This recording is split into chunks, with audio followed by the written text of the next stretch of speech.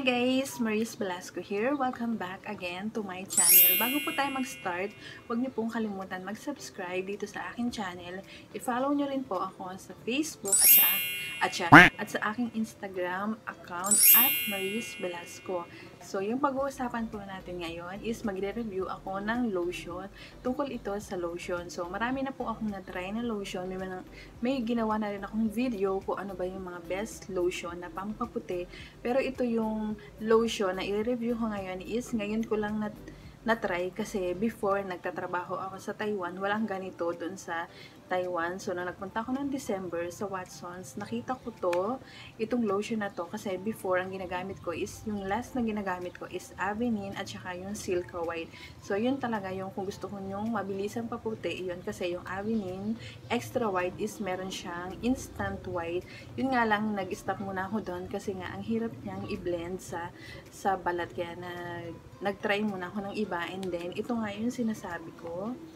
So, ito yung Avonay Miracle Spa Milk Whitening Lotion, tomato extract, white glutathione, lycopene, tomato extract, 3 times whitening, firming skin.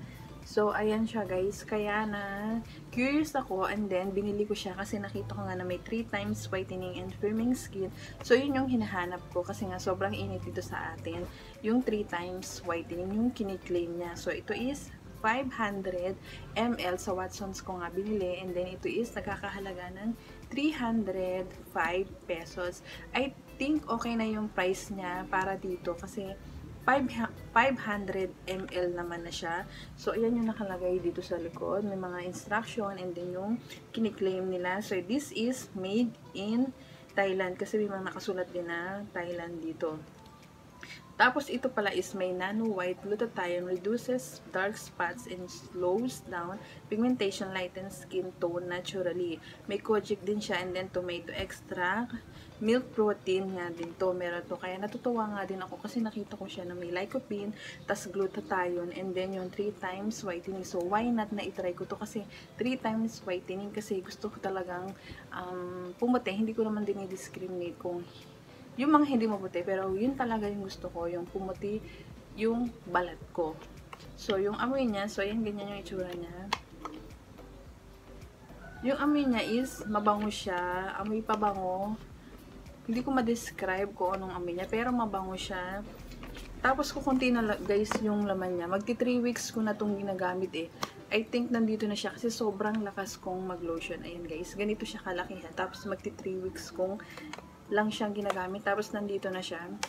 So, hindi ko alam kasi talagang mahilig talaga akong mag-lotion. Kasi pag nararamdaman ko, nag nagda-dry yung kamay ko, ayun, naglo-lotion agad ako. So, yung istura niya, ganyan siya, guys.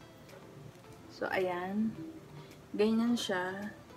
And then, pag nilagay mo siya sa balat, sobrang bilis ma-absorb.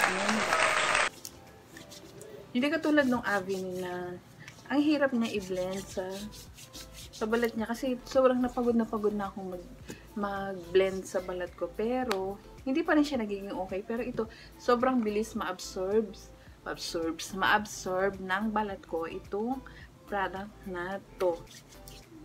Kung um, masasabi ko kung nakakaputi siya um, I think hindi siya ganong nakakaputi kahit sinasabi nila na 3 times whitening firming skin. Pero syempre iba-iba tayo ng um, skin types, hindi ko alam kung effective to sa inyo. Pero sa akin, hindi siya ganun ka-effective.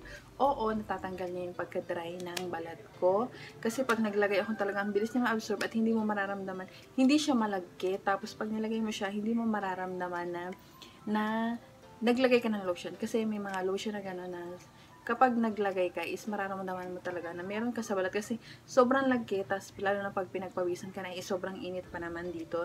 And then napansin ko is naglow yung balat ko. Yan guys. Naglow talaga siya at saka um, naging hindi na siya dry, parang baby skin na yung balat ko dito. And then yun nga lang yung kung sa whitening, hindi siya gaano nakakaputi. Siguro nakakaputi siya pero hindi ganoon na mabilisan. Meron kasi yung Silka guys, talagang nakakaputi talaga yun guys. Favorite ko rin na lotion yung Silka, kahit green or white kasi na-try ko na medyo parang pricey din siya pero okay na din yun kasi malaki din naman. So kung naghahanap kayo ng lotion tapos gusto niyo na mabilisang maputi, hindi ko siya marerecommend recommend sa inyo guys. Pero pwede nyo pa rin siyang itry kasi mag, sabi ko nga, magkakaiba tayo ng skin type. So, ayun lang yung nagustuhan ko kasi nag-glow yung skin ko and then um, hindi man siya gaanong pumuti. Kasi nga guys, nung nagpunta kami sa Pampanga, nasabi ko na dun sa video ko, may isa kong video na sinabi ko, dun sa Silka, oh, Silka, ano ba yan? Silka na body wash yun. Ayun, sinabi ko din na umitim kami sa Pampanga. Ayun nga, hindi, kasi ito pala is wala siyang SPF na protection para sa sa araw. Pero meron naman siya including UV protection for lightening. Pero yung kaila, mas mahalaga yung may SPF para magkaroon ng protection yung balat natin. Tapos ako pa naman yung tao na hindi talaga akong mahilig magpayong. As in, hindi ako nagpapayong kahit sobrang init guys. Depende na lang kung may dalang payong yung kasama yun, makikisukob ako.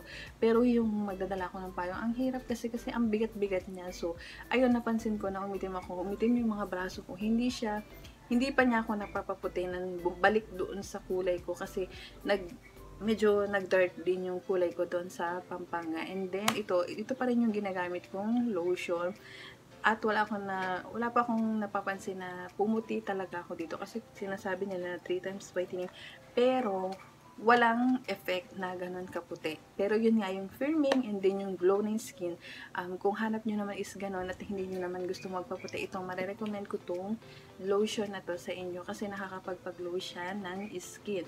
Basta kung gusto nyo pumuti agad is yun silka, itry nyo siya guys. Saka yung Avenine extra white sa Watson. So, ayun lang guys yung masasabi ko dito sa product na to kasi kung naghahanap kayo ng lotion, kasi alam ko may ibang variant to. May nakikita ko sa YouTube na isang Avonay din na lotion na mas pink. Pink yung kulay niya. Ito kasi is white. So, itry nyo din siya kung gusto nyo itry kasi 305 at marami na din siya. Pero kung konti na yun sa akin, 3 weeks ko palang ginagamit kasi sobrang lakas kong mag-lotion. So, ayun lang guys yung share ko about sa product na to. Sana po, sana po, sana po nag-enjoy kayo dito sa video na to at meron akong nabigay na konting idea kung gusto nyo itry itong product na to. So, ayun po, makita-kita po po tayo sa susunod kong video. Huwag niyo pong kalimutan mag-subscribe at i-hit na rin po yung notification bell para updated po kayo kung meron akong um, bagong upload. So, see you on my next one. Bye guys!